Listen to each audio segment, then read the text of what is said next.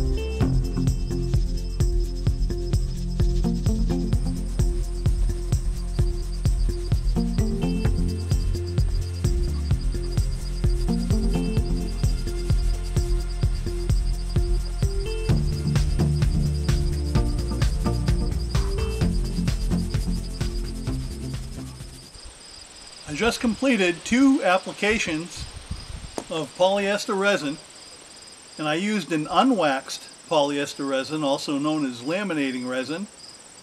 And then I also thinned it out with styrene. And the idea was, if it's not quite as viscous, it's much thinner. That allows it to soak in to the wood before it sets up. That will give me a much better bond when I start laminating the fiberglass.